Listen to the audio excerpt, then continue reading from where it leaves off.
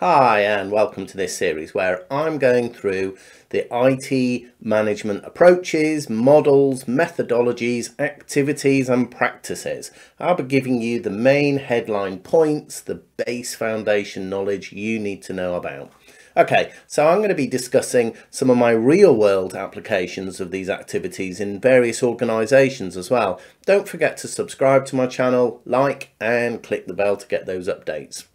So today I'm going to be cover covering off some of the more key concepts within SIAM, Service Integration and Management. We've already covered off SIAM layers, SIAM structures, drivers in previous videos, and I've done some of the other roadmap uh, videos as well. But this one specifically in terms of the roadmap, we're going to look at the implementation stage.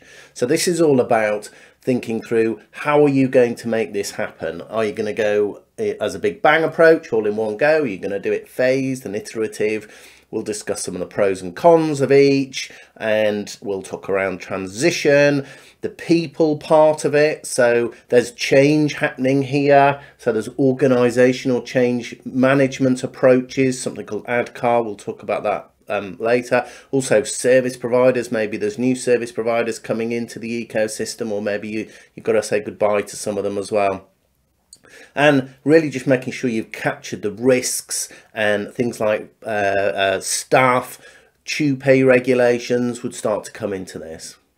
As with all the various stages within the roadmap, there's four stages. You've got discovery and strategy, plan and build. I've done previous videos on those. You've got implement, which is what we're going to talk about now, and you've got run and improve. And within each stage, there are various elements that are talked through and discussed and and agreed. And those are things like the objectives what those triggers are for that stage what the inputs are what the outputs are and what the various activities are.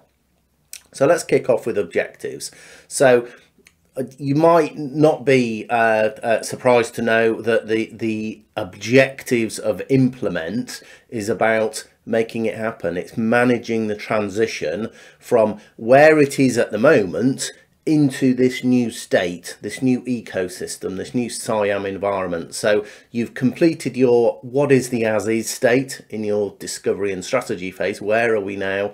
And this is about where do we want to be? How are we going to actually do it? Let's execute the plans now and implement it. So it's very much going from uh, where you are now to the the new outcome, the new desired state within the ecosystem, the SIAM model. The triggers, so typically you will have gone through your discovery and strategy stages and your plan and build stages, of course. So those will be the triggers. Once you've got, once you've found out about it, once you've planned it, once you've thought it through, once you've built the, um, uh, the model, this is, this is now the implementation and that would be the trigger it can it can depend as to when this happens. It will be a combination of the customers um, uh, situation. There may be some external events there. Some of them may be well out of your control. They may be out of the customer's control as well. But typically you're going to be thinking uh, through things like perhaps one of those service providers um, or, or maybe a service integrator, the, the, there's a contractual element there in terms of it's come to an end, maybe. Or maybe they've gone out of business, maybe they've gone bust, maybe they've stopped trading for whatever reason. That might invoke it very, very quickly. We need to do something. And then there's organizational changes as well. So perhaps the organization has been bought out Maybe there's a buyout of some kind of hostile takeover bid, perhaps, or whatever it may be. There, there could be some big organisational changes that are market changes, even. The inputs to this stage. So we've already we, we've already talked about the the the triggers here will have will have come from the um, uh, the inputs uh, the, and the outputs from the discovery and the strategy and the plan and build stages. So those those stages will have provided that that information coming in. The the activity, so this is where it starts to happen now. So you're now thinking through okay well how are we going to do this do we do it all in one go or do we perhaps stage it somehow or think through parts that parts of the business or parts of an organization or a group perhaps maybe it's even certain services that that could be done one at a time but there's kind of two approaches. You've got the big bang approach, and then you, you've got a, a phased approach, maybe an iterative or a logical section of some kind. Each one has pros and cons. Big bang very quickly. Clearly you're doing it all in one go. There may there may be some disruption there, but the drivers could be one of time. It needs to happen within six months that's it it has to happen so there's perhaps not time to stretch it out over a 12 month period or an 18 month period or whatever it, has got to be done and dusted within um, six months so you you may go for a big bang approach there perhaps um, taking into account and recognizing the risk there around the organization and and the input um, impact from an operational perspective maybe. The other view is to take maybe a more iterative, a logical section of some kind. Perhaps that's a service provider at a time, perhaps that's a country at a time or a department at a time. Maybe you're thinking, I tell you what, let's do payroll first, then legal, then HR, then facilities, then maintenance, then billing, then finance, then property, then transport, and then finally let's do sales and marketing just as an example, and that's certainly something I, have I've seen in other organisations. Those were the phases that we said, okay, let's split this down into departments, business unit departments, and and go through each, each one at a time. Just a slight aside, and and I talk from experience here. If you're doing the phased approach, clearly it's less disruptive. It's usually going to take longer. Um, the other thing to really kind of think through is that if you if you're stretching it out let's say over a 12 month period of time for the sake of argument you may be in a situation where you've got some service providers that are not part of the ecosystem. So you've got this model you've moved the customer into this new model but actually you've got perhaps half a dozen service providers that are outside of the ecosystem. And that brings collaboration challenges. That brings a different set of challenges. So you must weigh up the pros and cons. But broadly speaking you need to think through what's the implementation approach. Big bang or do you cut it up?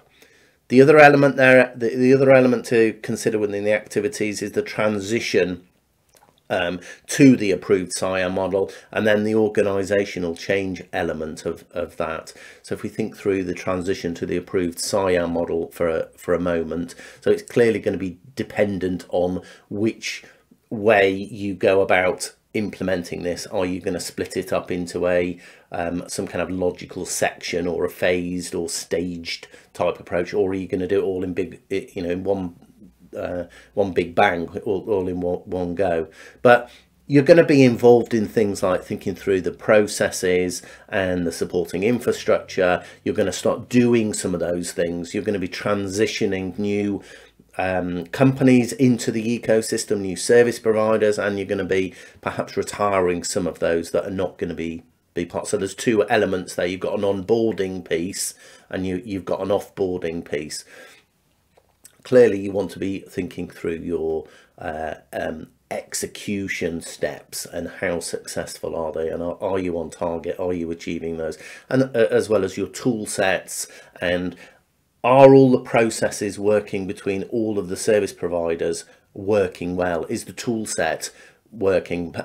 Maybe you're lucky and everyone's using a common tool set.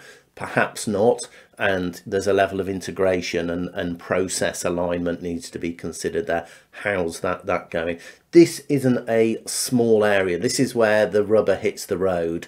This is this is a large exercise. You've got lots of moving parts. You've got service providers external service providers and internal service providers. You've got the actual services themselves. You've got models. You've got RACI matrices floating around in terms of who's doing what um, uh, tooling practices and approaches, your structural elements. So perhaps there's there's governance boards there, or there's working groups um, to consider around.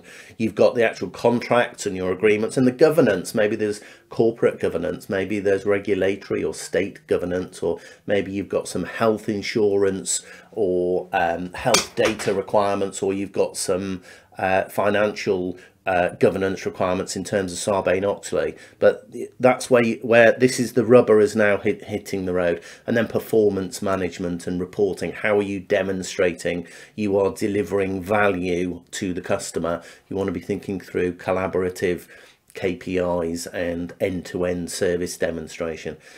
And then the other um, piece to, to really consider is, is around organisational change management. So this is, again, this is where it's starting to happen now. So you've already started that process earlier on in the in the step just before the implement uh, stage, which is the plan and build stage. So hopefully you've you've now got a a, um, a, good idea as to how are we going to do it. And there's there's techniques. There's there's something called the ADKAR model where you consider the awareness you consider desire you consider knowledge you consider ability and you can consider reinforcement as to how do you bring people along on that journey that organizational change management. How do you how do you manage people? How do you get people to to come on board with this and and uh, move along through those various stages so there's things like awareness campaigns or uh, regular communication. Maybe there's an email, maybe there's an intranet, maybe there's a notice board,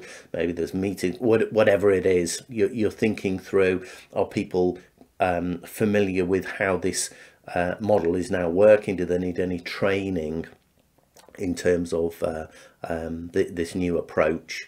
And also measuring that as well. But it's it's definitely about um, thinking through how are you going to be bringing people along, and this ADKAR technique is is a really good uh, um, a good way of of minimising organisational impact in terms of of people, and then the final stage is outputs. So just as a recap, there's four stages in the roadmap. You've got discovery and strategy, plan and build, implement, which is what we're talking about. And then you've got the run and improve. And then within each one of those, you have objectives, triggers, inputs, activities, and outputs.